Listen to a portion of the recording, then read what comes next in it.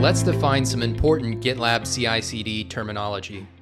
The first is a GitLab pipeline. A pipeline is a top-level component used to define a CI/CD process for a GitLab project. And within a pipeline, we can define stages and jobs. Next, we have jobs. Jobs are associated with stages within a pipeline, and they define the actual steps to be executed, such as running commands to compile code.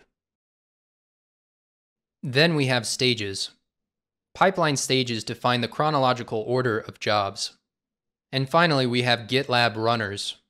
GitLab Runner is an open source application that executes the instructions defined within jobs.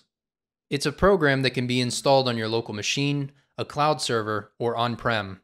Shared runners are hosted by GitLab. Now that we've defined these concepts, let's get started.